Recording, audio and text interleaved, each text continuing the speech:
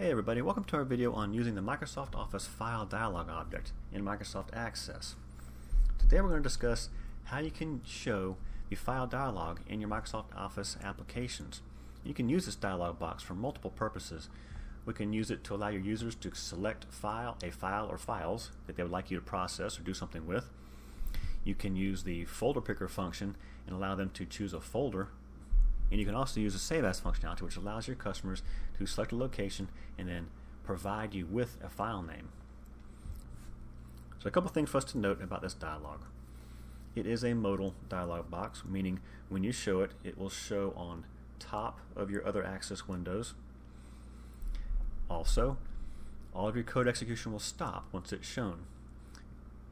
Code execution will only begin again after your users have dismissed the dialog box, so after they press either the cancel button or the open save button. Also, you can only have one of these open at a time in your application, and some of the values or some of the properties you set will hold over onto subsequent instances of the dialog box, even if you destroy it, the reference to it in memory. So let's take a look at the database we're going to use this in. I have a sample form here with two objects on it. I have a button, which we'll use to show the dialog box, and I have a text box here, multi-line text box that we'll use to show the results of what we did. So when we pick files or pick folders, we'll show which files and folders we selected in this text box. It is called text selected name. Let's head over to our code now. So here's the click event for the command button, command show.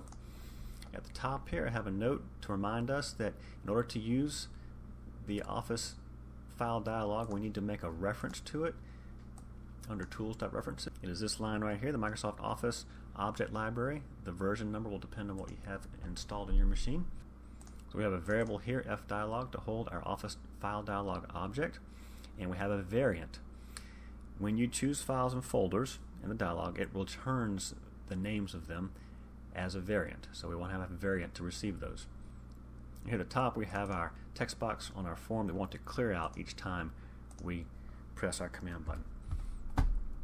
The first thing we want to do then is create our file dialog object. Okay, so fdialog equals application file dialog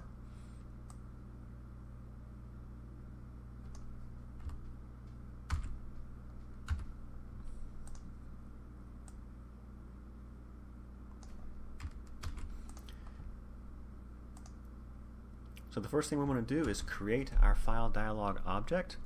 Okay, so we're going to set the f dialog equal to application.file dialog and then open parentheses and we get to pick what type of dialog box we want to have. We have four choices, a file picker, a folder picker, a dialog open, and a dialog save as.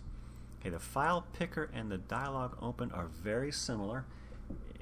In these cases you are just selecting, you're browsing to and selecting files. The difference between the two would be there's a little bit of additional functionality in the dialog open. The dialog open has, and the save as, as a matter of fact, have an execute method that you can use. Now, I don't believe it's very useful to us in Access. So what the documentation suggests it will do is it will open a file for you after your users select a file in the dialog box. However, the way it really functions is it will open a file that your application is capable of opening. In Access, if you select another Access database to open, it will give you a runtime error. In Access, if you select an Excel file to open, it will also give you a runtime error. However, you can from Excel, it is a, a multi-document interface, from Excel you can select additional Excel files and use this execute method and it will open them for you. And I believe the same thing would happen with Word, although I've never tried it in Word. That's something you could try. So that's the open and the file picker. Under folder picker, it does just what the name suggests. It allows you to select a folder. And the save as allows you to specify a location and a name. So we're going to use file picker. So first, before we forget, I want to destroy our reference to the object at the very end after we're all done. So down here under our sub exit, which is the code will fall through if everything goes well, and the code will go to after our errors if we have any. We want to destroy our reference to the object. Set f dialog equal to nothing. Free up that memory. Next, I want to set up a with and end with here so that we can work inside here and not have to type a whole bunch of stuff. We can set the title. In this case, I'm going to set the title equal to choose the spreadsheet you would like to import. And back over here, you can see that title appears at the very top in the title bar. Allow multi-select, you select, set this equal to true or false. If you set it to true, you can select multiple files at one time. And let's actually let's go ahead and do that because that's fun. Set false, it'll only allow your user to select one file at a time. And also, you can give your users a head start, so to speak, in, loca in the location you start by giving it an initial file name. Now you don't have to give it a full file name, you can give it a partial path, if you will. What I've done here is I've given it a folder. Now you can leave off this slash if you'd like, and if you do that, what it will do though is it will fill in this last portion in the file name box. If you put a slash on there, it'll leave the file name portion of the dialog, that's this portion down here at the bottom, right? It will leave that blank for you. And when you're using the folder picker, you want to make sure you have a trailing slash there. So next we want to set up our filters. Now, filters are how we tell the dialog box what types of files we're looking for. So first we want to clear our filters. Like I said earlier, some of the properties from previous instances of the dialog will hold over onto newer instances. So we always want to clear out our filters and make sure that we get the filters we want. And then we use the filters add to add the filters. So first we give it a string, which is the text that shows in this drop-down box right here on the left. And then we give it the actual extension that we want to filter for. In this case, I'm using XLS star, which will give us all the, which will give us the older spreadsheet types as well as the newer ones, the XLS X, the XLS M, and etc. etc. Now you can add multiples if you want to. I'm going to copy in some commented out code here that we're not going to use, but I just want to just so you can see it you could get specific and Excel files and list them out like this if you'd like. And you'll get an entry for each of those in that drop down box. But we're not going to use that. We'll just have that copied in there. The way that we make the dialog box appear on the screen is by using the show method. I'm going to copy in our end if here, else or endif. The show method returns a boolean. It returns true if your users clicked well, let me go over here. If your users click this open or the save as button on the left, it returns a true value. If they click the cancel button, it will return a false value. So you can interrogate that while showing it at the same time. So if show equals true, we'll have code here to run if they clicked the open button. Else, they didn't click the open button, they clicked the cancel button. We might want to have some code down here that does something instead. Now, we're not going to do anything about it in this example, but you could if you needed to. So if your users clicked the open button, we need to test if they actually selected a file or files in the dialog. We can do that by looking at the selected items collection and using the count property. If it's equal to zero, even though they selected the open button, they didn't click on any file that was in the list. Again, you might want to do something here or not. We could just, in our case, we're just going to go down to sub exit and get out. So after we've established our users have selected a file in the dialog picker, then we need to get to the file names. And we do that very easily here using the variant that we have here.